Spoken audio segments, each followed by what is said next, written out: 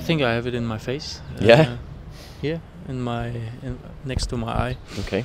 So this was uh, quite an uh, quite a hard crash uh, directly on my face, uh, and uh, yeah, what can I say? Uh, I just uh, uh, sprinted and went over the handlebar, and uh,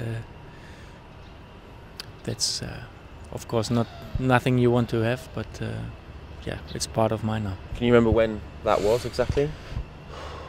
I think it was uh, 2007, 2008. Um, yeah, a few nights in the hospital and some stitches, uh, but yeah, it was scary. And you know, how did you uh, feel after that and the recovery? Was it hard to get back out on the bike and, and, and sort of go toe to toe with other riders in bunch sprints? Were you nervous about maybe crashing again and hitting your, your eye again? I know uh, everybody, or I knew it uh, was a bad circumstance in this moment, and uh, yeah, I mean it's part of our jobs. Crashes, okay. Sometimes you crash harder than you want, uh, but it's always also a challenge to get up and uh, uh, keep trying.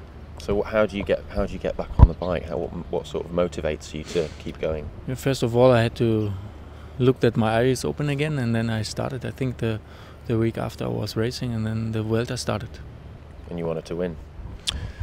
I wanted to be in the selection, of course. I was selected for the Vuelta, I think 2007, 2008, and then uh, yeah, cool. I had to start.